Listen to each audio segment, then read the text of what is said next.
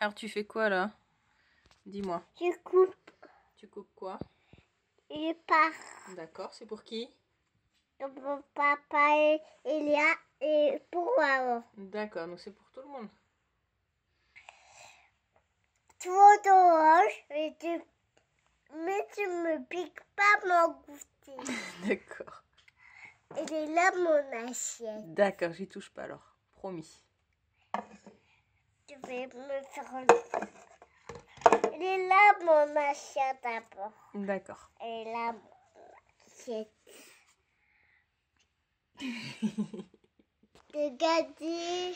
Non, c'est fini.